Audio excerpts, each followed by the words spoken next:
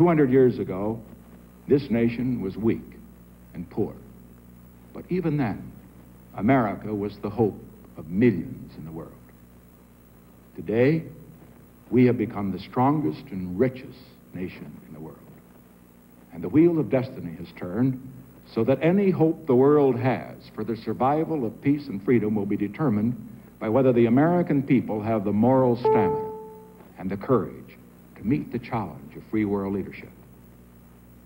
Let historians not record that when America was the most powerful nation in the world, we passed on the other side of the road and allowed the last hopes for peace and freedom of millions of people to be suffocated by the forces of totalitarianism.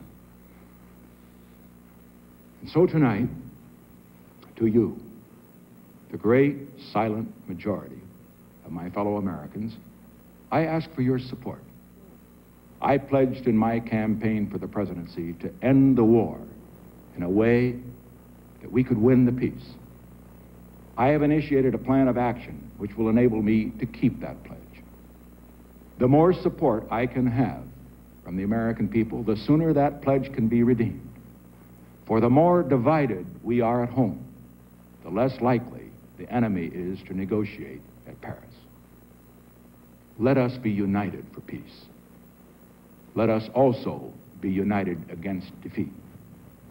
Because let us understand, North Vietnam cannot defeat or humiliate the United States. Only Americans can do that.